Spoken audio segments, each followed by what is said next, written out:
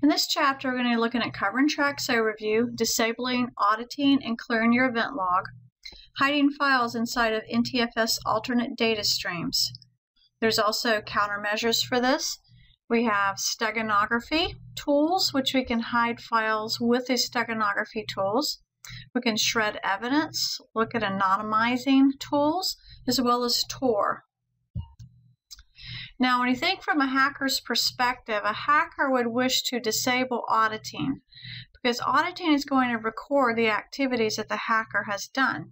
They may consider clearing what's in the log, such as a security log, for example, in Windows. They could consider hiding information within the NTFS file system by using alternate data streams where basically they're hiding a file within a file. We can hide data inside of images, which we think of as steganography. We can try to get rid of or shred files that could help give us clues to what the hacker might be doing. Now there are rootkits, and inside rootkits they're known for hiding processes. There's quite a stealthy nature when you think of rootkits, and a rootkit is a method of getting a backdoor to a system. Now you're going to see a lot of emphasis on the Windows operating system covering these topics. Now looking at auditing, within the Windows system we could use a Windows Resource Kit tool called Auditpol and it's a command line tool that allows us to disable the auditing, effectively turning it off, as well as re-enabling the auditing if we wish to.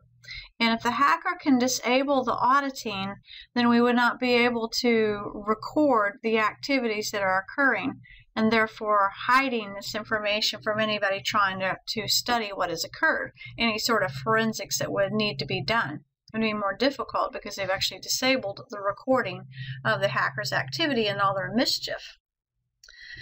So that's a, an interesting tool. It's best to run this tool locally on the victim box, the one that you've compromised. And of course, within the Windows world, the really important log is called security. And we have application log, and that's very interesting, dealing with applications, any sort of issues with applications running. System log could give us information on as a system boots up and shuts down, any services that may have failed to load or start. And there is the really important security log because this is most likely what they may wish to get rid of because activities could be recorded here. Unfortunately, with the traditional methods of just going in there and clearing the log, there will be one record stating that it was cleared. So that's evidence right there. Another option would be able to use a tool such as ELSave, which would accomplish the same goal but not actually leave any sort of record behind. Another interesting thing hackers can do is to try to hide information through using the NTFS file system, which allows you to do something called NTFS alternate data streams. And this slide actually kind of gives you the big picture where we're actually because this is Windows NT was a little older version of Windows, but it could be Windows just as well. System 32 calculator, and you could redirect a program into a file that appears to have a uh, like two files in one, file.txt colon program.exe. And we're actually taking that calculator program and basically redirecting it into this double file, this NTFS alternate data stream. And with this, when you normally would look you at the directory listing, you would not see the program.exe, but you would see the file.txt, which still would not possess the calculator program. Someone would need to know that, that, that this was there to even for it to occur to them. Or they could use tools that would help you see or reveal NTFS alternate data streams. So with this, it will append the Windows Calculator pro program onto the file.txt, and then if you were actually going to run the program, you could do syntax as you see here, where you start and you point to the file.txt colon program.exe. Now, Windows itself cannot detect any sort of NTFS alternate data streams.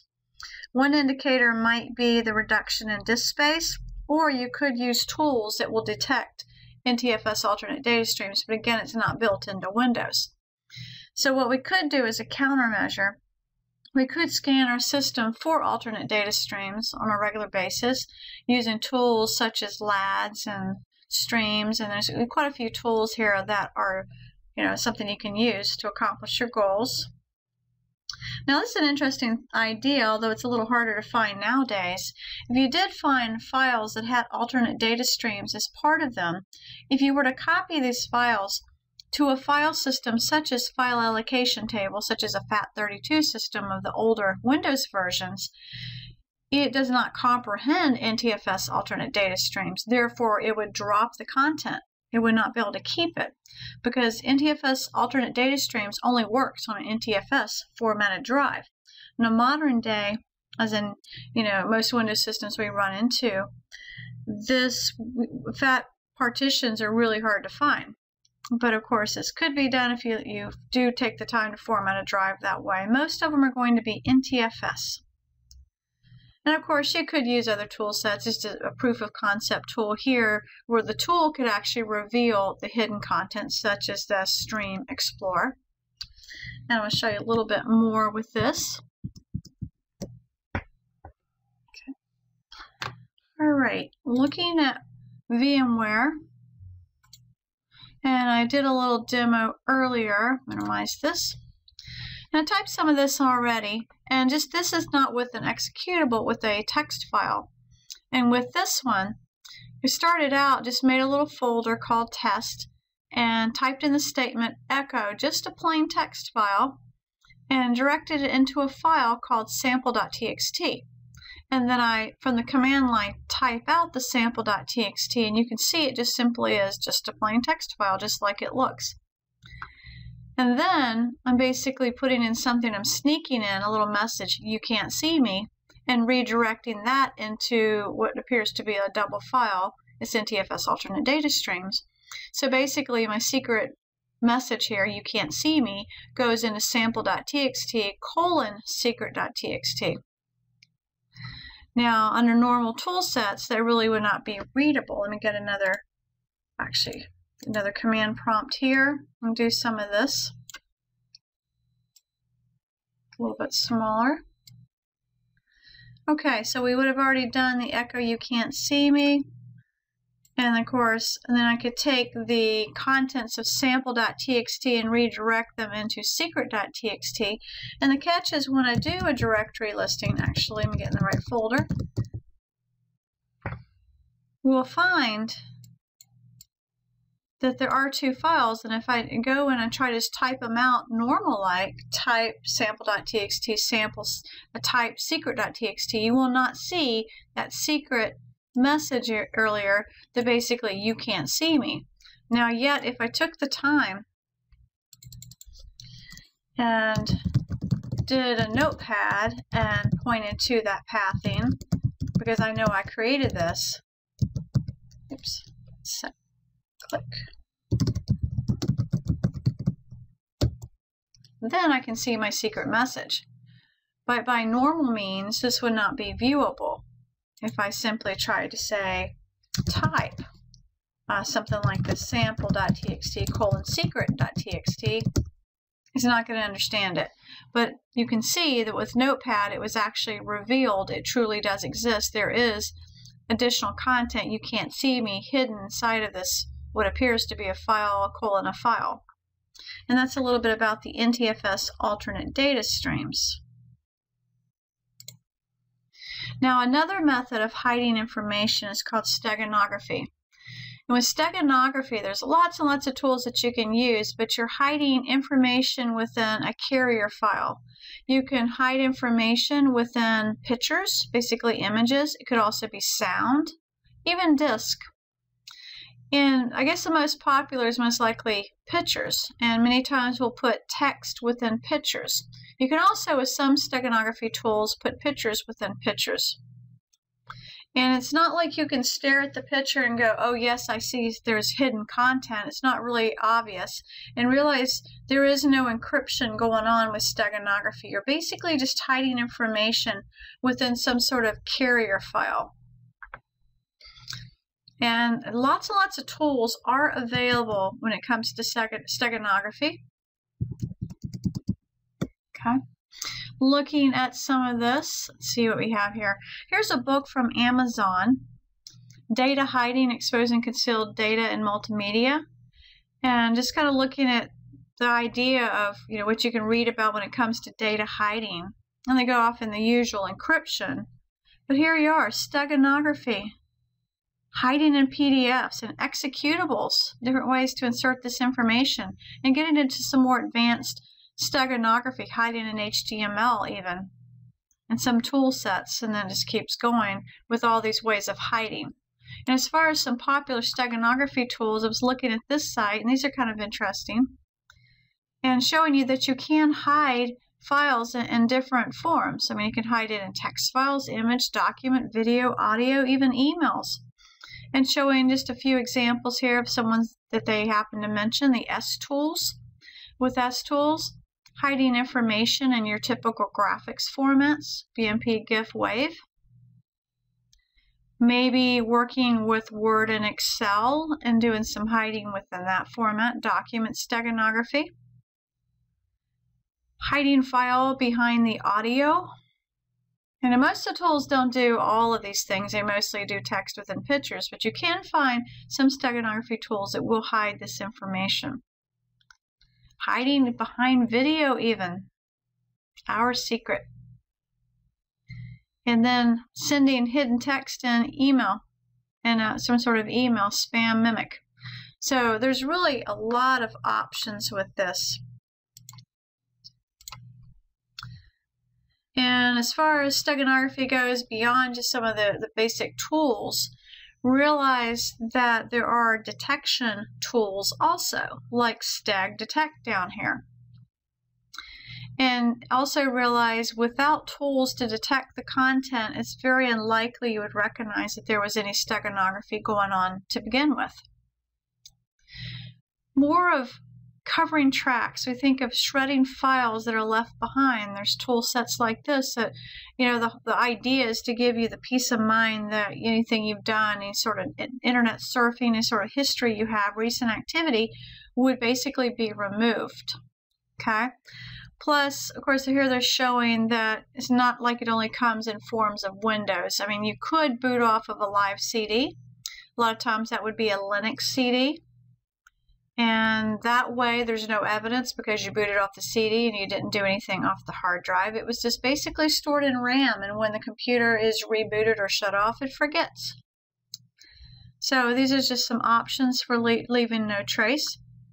And of course, some other just proof of concept, not that these are the only tools out there. These are just examples of how there are tool sets that allow us to try to become more anonymous, maybe anonymous with our web surfing, for example.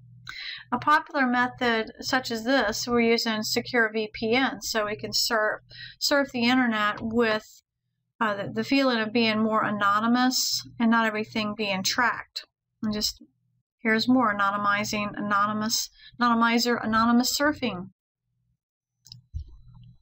Now, before we look at Tor, there, you can actually subscribe to a service if you would like to be anonymous and go through a VPN, which you can connect to different countries. I mean, Canada being one of them, and I think Germany and many different other places.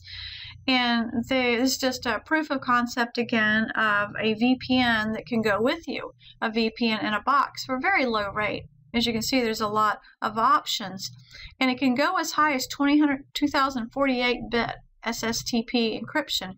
You also can go at lower encryptions with PPTP as well as L2TP with this particular product.